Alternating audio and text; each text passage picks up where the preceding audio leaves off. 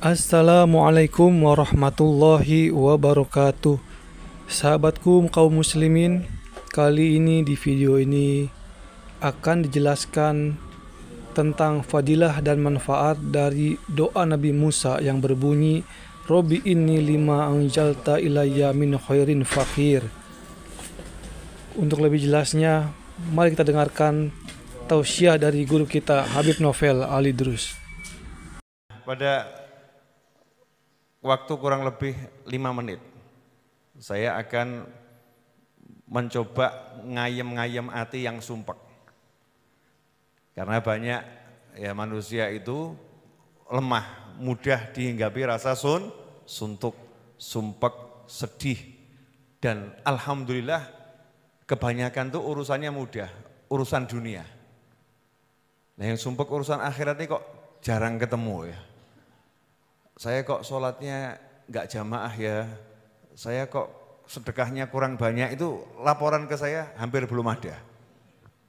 Yang ada itu mau beli rumah kok enggak, enggak punya uang. Mau bayar kontrakan kok enggak, enggak ada. Rata-rata sumpeknya karena itu ya. Sumpeknya karena itu urusan dunia. Kalau untuk itu solusinya gampang. Karena Allah mengatakan wa may yattaqillaha yaj'al lahu makhraja wa yarzuqhu min haitsu la yahtasib. Yang ngatur rezeki, yang ngasih rezeki, yang punya segala-galanya udah bilang asal kamu bertakwa, barang siapa ber, bertakwa pada Allah, apa pun masalahmu Allah yang akan solusikan. Ya ja'allahu makhraja wa yarzuqhu min haitsu la yahtasib. Dan dia Allah akan memberi kamu rezeki yang surprise, arahnya enggak pernah bisa kamu ketahui, enggak pernah bisa kamu du, duga. Tiba-tiba ada, tiba-tiba ah, ada.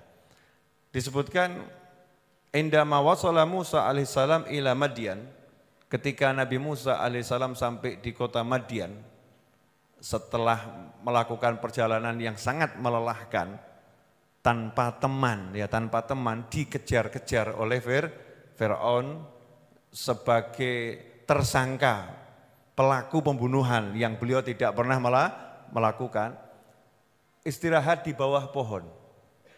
Istirahat di bawah pohon, saat itu lam yakun ladahi bait. Nabi Musa enggak punya rumah, wala wadhifah, enggak punya pekerjaan, wala zaujah, enggak punya is, istri. Sona'a ma'rufan wa tawalla ila dhil.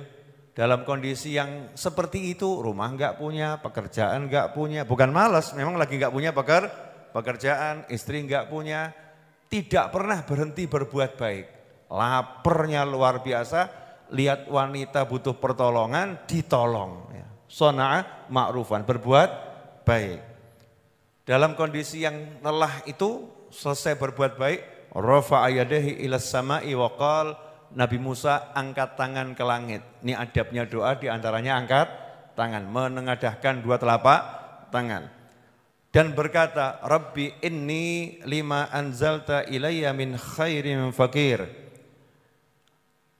Duhai Allah Tuhanku, sesungguhnya aku sangat fakir membutuhkan kebaikan yang kamu turunkan kepadaku.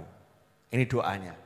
Jadi yang tidak punya istri, pengen punya istri, yang tidak punya pasangan, pengen punya pasangan, ya, yang tidak punya pekerjaan, pengen punya pekerjaan, yang tidak punya rumah, pengen punya rumah. Nomor satu, berbuat keba, kebaikan. Kemudian perbanyak baca doa, ini sambil menengadahkan dua telapak tangan. Saya ijazahkan, enggak usah bingung ijazahnya Beb ya. Saya ijazahkan. Hasilnya lam taghrub syamsu dzalikal yaum matahari hari itu belum terbenam illa wasara alaihi baitun wa wadhibatun wa zaujah. Belum tenggelam mataharinya, langsung disamperin perempuan yang ditolongnya, dibilang diundang ayahnya. Setelah itu oleh ayahnya, ya Shu'aib, Nabi Shu'aib alaihissalam menurut berbagai riwayat, walaupun ada perbedaan pendapat ulama, oleh Nabi Shu'aib alaihissalam dikasih tempat tinggal, suruh tinggal di rumahnya, dikasih pekerjaan, kemudian dinikahkan dengan bu, putrinya yang wayu solihah. Cantik jelita dan solihah. Lengkap berkat apa? Berbuat baik dan angkat tangan doa. Setelah itu ya kerja. Mau ada pekerjaan ya beker, bekerja, bukan pemalas. Nah ini kalau kita mau tadi ini, ada yang belum punya istri? Ada kan ya, banyak ini kelihatannya. Tapi belum waktunya, waktu nggak ada yang tahu, yang penting doa dulu. Ya waktu nggak ada yang tahu, yang penting doa, doa dulu.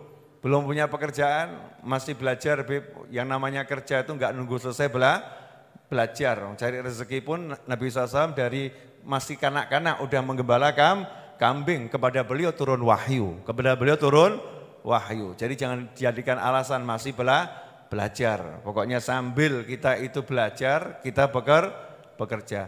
Baca doa tadi. Hakadha walaf minkum wa sallallahu ala sayyidina Muhammadin wa alihi wasallam walhamdulillahi rabbil alamin. Demikianlah penjelasan dari guru kita Habibana Novel Alidrus. Semoga bermanfaat dan menambah ilmu untuk kita semua. Wassalamualaikum warahmatullahi wabarakatuh.